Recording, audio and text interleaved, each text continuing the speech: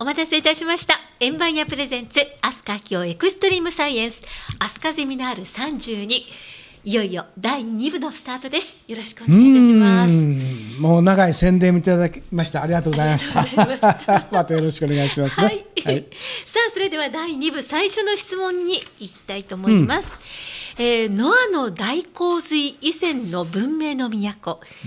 うん、すなわちアダムとその子孫たちが住んでいた都がアスカという都市であったということですがそれは現在の奈良県飛鳥村あるいは奈良盆地のことでしょうか。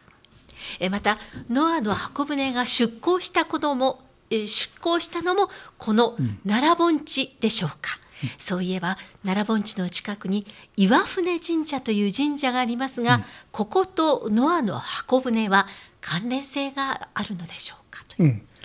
うん、はい。だからまあ増田にしてもそうだろう。坂船石とか船でしょ？あそうですね。でもともとあの辺りっていうのは、まあそまあ、一緒っていう意味でなくったとしても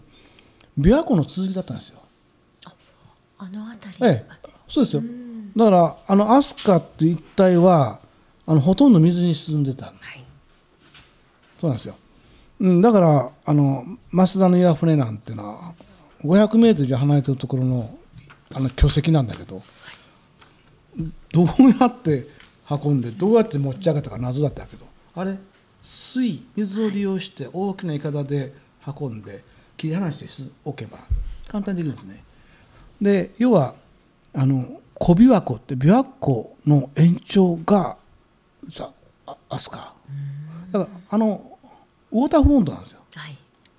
うん、今でもやはりその面影というか。あもうだって明治の時もあの奈良まあ、石切さんって石切神社もそうなんだけどあの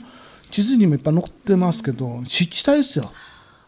だからね本当明治の初頭か江戸時代末期まで確かあれ、まあ、板船って言ってね。ほんで伝端なんかもうもう本当にだって鹿で有名な奈良の若草山のあの南ってあの湖だったって和歌で出てきますし。だからねあの本当にあのでもっと言うとあの琵琶湖の水量と同じ水量が京都の下に埋まってるんですよ。だ京都そのものが巨大な湖の上に浮かんでるあの足船みたいなもの